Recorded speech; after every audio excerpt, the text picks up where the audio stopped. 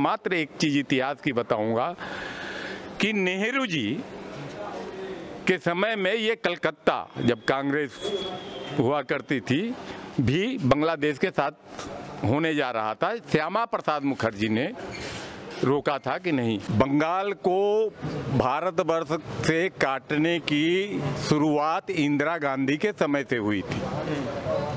और उसे ही लेकर इंदिरा गांधी की कांग्रेस आई थी। इंदिरा गांधी चाहती थी कि यहाँ कांग्रेस हारे। सीपीएम आए, माकपा जी से कहते हैं, मार्क्सवादी कम्युनिस्ट पार्टी। और वो मुझे समर्थन दे, क्योंकि काटने के काम की ज़िम्मेदारी बंगाल को, काटने के काम की ज़िम्मेदारी इंदिरा गांधी खुद अपने ऊपर लेना नहीं चाहती थी। और उस समय से ये चल रहा था। इंदिरा गांधी ने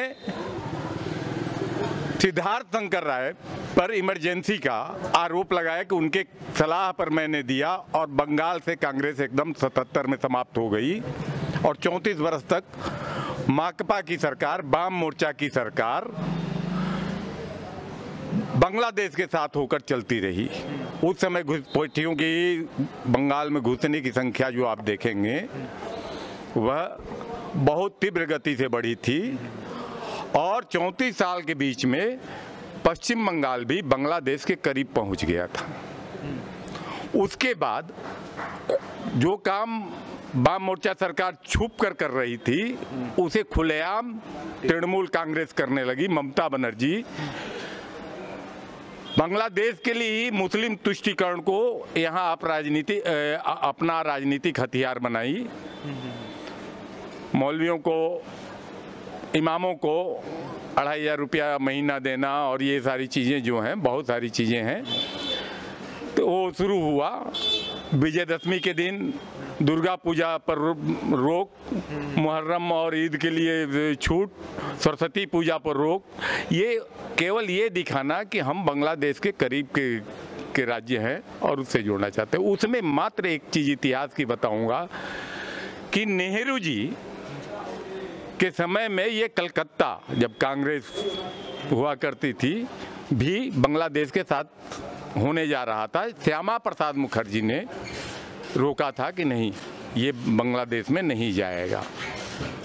और भाजपा से सबसे बड़ी डर का कारण यही होता है कि श्यामा प्रसाद मुखर्जी के लोग जब आएँगे तो पश्चिम बंगाल में बांग्लादेश की स्थिति नहीं बन पाएगी पश्चिम बंगाल बांग्लादेश के साथ नहीं जाएगा। सर श्री राम के नारों से चिड़ा है। लेकिन लेकिन लेकिन सरस्वती पूजन करवा रही थी अभी इस बात पर सरस्वती पूजा पर भी रोक लगी थी। स्कूलों से सरस्वती प्रतिमा निकाल ली जाती थी वहाँ अब सरस्वती पूजन का आयोजन करवा रही थी ममता हाँ हाँ अब करवा रही थी। दुर्गा पूजा के लिए चंदा देने लगी थी पीके के आने के बाद जब उनके राजनीतिक सलाहकार आए और उन्होंने कहा कि हिंदुस्तान में रहकर हिंदुओं से लड़ाई आप नहीं ले सकती हैं। शायद यही सलाह दिए होंगे मैं अंदाज से बताता हूँ।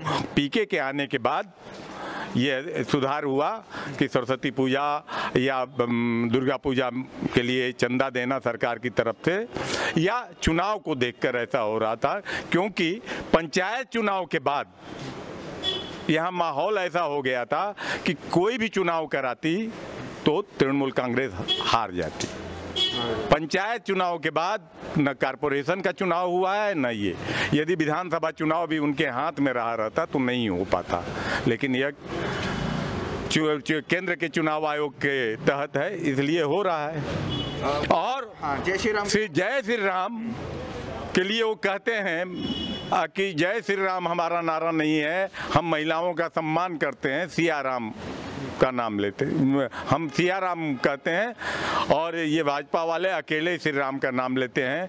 मैं बताता हूँ श्री माने दुर्गा श्री माने सरस्वती श्री माने लक्ष्मी और पूरा रामायण खोल कर देखिए तो तीनों शक्तियाँ बताई जाती हैं कि सीता में थी और राम के विवाह के पहले श्री राम नाम चलता है और राम के विवाह के बाद सिया राम नाम चलता है।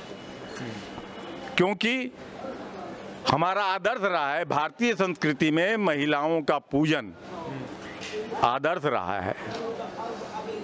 हमारे यहाँ कहा गया है कि नारी जहाँ रहती है वहीं देवता का वास होता है। इसलिए राम का नाम भी श्री के साथ लिया जाता था और क्योंकि तीनों शक्तियाँ उसमें थी दुर्गा लक्ष्मी सरस्वती। बाबा डर का भी माहौल है यहाँ लोगों में देख रहे हैं जो बीजेपी को सपोर्ट करते हैं वो खुलकर बोल नहीं पाते हैं यहाँ पर अपनी बात नहीं रख पाते हैं।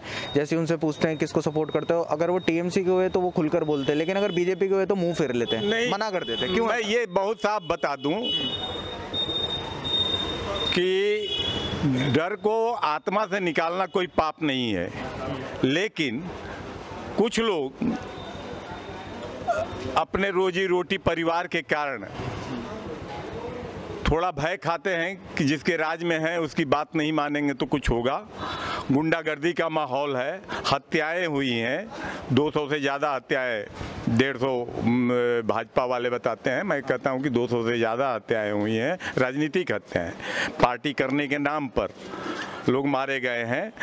इसलिए, और इन्होंने जो श्री राम का विरोध किया, और पुलिस पकड़ने लगी लोगों को तो जरा भय यहाँ है, लेकिन वह भय केंद्र सरकार के ध्यान इस चुनाव में बंगाल पर आने के बाद, अमित शाह और नरेंद्र मोदी के भाषण सुनने के बाद लोगों से निकल रहा है और चुनाव आने तक, कल ही देख लीजिएगा कुछ चुनाव हो रहे हैं, वहाँ खुलकर लोग भाजपा को वोट देंगे।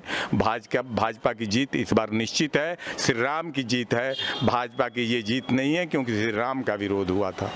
ममता बनर्जी बाहरी बोल रही हैं बीजेपी को कि यहाँ की सरकार नहीं है ये बाहरी सरकार है टूरिस्ट हैं ये लोग ऐसे मैं तो इतना ही कहूँगा कि यदि भाजपा यहाँ की सरकार नहीं है बाहरी बाहरी सरकार कहने का माने ही है कि बंगाल जो है भारत से अलग है हाँ, अलग अलग करना अलग करने की उनकी कोशिश थी पीके को लेकर आई है हम्म। वो क्या बंगाल के हाँ। वह भी तो बाहर के हैं उनके सलाह पर पूरा राजनीति वो चला रही है। और भारतीय जनता पार्टी के लोगों को कह रही है कि वो बाहर के हैं। बाहर का कौन है? मैं साठ साल से इस बंगाल में हूँ मैं बाहर का हूँ। तो भारतीय जनता पार्टी को वोट दूँगा तो बाहर का हो जाऊँगा। यहाँ टीएमसी को वोट दूँगा तो मैं बंगाल का हो जाऊँगा। तो ये ये उनका एक वहम है कि इस तरह लोगों को बर्ग यहाँ की जनता को, यहाँ की मतदाताओं को बरगला पाएँगी। हर एक आदमी जानता है कि पूरा पश्चिम बंगाल भारत के साथ जुड़ा हुआ है और जुड़ा रहेगा। कौन ऐसा जगह है? आपको मालूम है? राम के परमहंस के दादा परदादा नाना आदि का नाम देखिए तो सब में राम लगा हुआ है। और उस बंगाल को जो रामकृष्ण विवेकानंद को पूछता है उस बंगाल को वो कह रही हैं कि ये के ये यहाँ बाहर के लोग आ रहे हैं। विवेकानंद गाजीपुर में जाकर पौहारी बाबा के यहाँ जाकर उनको गुरु बनाने गए थे। पौहारी बाबा ने साफ़ कहा तुम्हारा गुरु पहले से है। अच्छा, और तब लौट कर आए। पंचायत चुनाव के समय में यहाँ पर हुई थी क्या गुंडागर्दी इस तरीके की पंचायत चुनाव में इतनी गुंडागर्दी हुई इतनी हत्याएँ हुई लोग फार्म नहीं भर पा रहे थे अपना नामांकन का पर्चा नहीं भर पा रहे थे जिसके कारण चुनाव यहाँ बंद हो गया। यहाँ का चुनाव आयुक्त तो जो था राज्य का चुनाव आयुक्त तो रिजाइन दिया था। रातों रात दूसरा चुनाव आयुक्त तो अलापन बंदोपाध्याय को नियुक्त किया गया। जो म्यूनिसिपल कमिश्नर थे कलकत्ता म्यूनसिपल कमिश्नर थे उनको नियुक्त किया गया रातों रात क्या लोग अब खुलकर वोट दे पाएँगे अगर इस तरीके की स्थिति वापस से बन जाती है? बनेगी किस तरीके की जैसे पंचायत? मैं उत्तर हवड़ा में देख रहा हूँ हर एक आदमी खुलकर वोट देने के लिए तैयार है भय कहीं नहीं कहीं नहीं है लोग जानते हैं। कि कुछ होगा लेकिन अब वो जानते हैं कि भाजपा इतनी मज़बूत है कि हमारे लिए लड़ेगी जनता के लिए भाजपा यहाँ तैयार है। इसलिए सबका सब भय मुक्त होकर वोट देंगे। चलिए एक आखिरी सवाल पूछना चाहूँगा। बूथ कैप्चरिंग जैसी भी समस्याएँ हैं यहाँ पर उस पर आप क्या कहेंगे? इस बार होगी क्या बूथ कैप्चरिंग? बू, बूथ कैप्चरिंग के की मा, के मास्टर थे लोग माकपा वाले। यहाँ अपने बाहुबल पर बूथ कैप्चरिंग करते हैं। उनका साइंटिफिक बूथ कैप्चरिंग था। यहाँ बाहुबल पर। लेकिन यह जनता खुद तैयार होती है। देखिए बूथ कैप्चरिंग तभी हो पाती है जब जनता आपके साथ नहीं है। कारण कि 2011 के चुनाव में जब जनता पलट गई तो बूथ कैप्चरिंग नहीं हो पाया। इस बार हो सकते क्या बूथ कैप्चरिंग? क्या लगता है आपको? गाँव कस्बे वाले इलाके हैं। तृणमूल को अभी भी अपने हिंसा पर भरोसा है बूथ कैप्चरिंग पर भरोसा है लेकिन इस बार नहीं हो पाएगा खासकर उत्तर हावड़ा में तो हो नहीं पाएगा। पाएगा चलिए बहुत बहुत धन्यवाद हमारे साथ जुड़ने के लिए।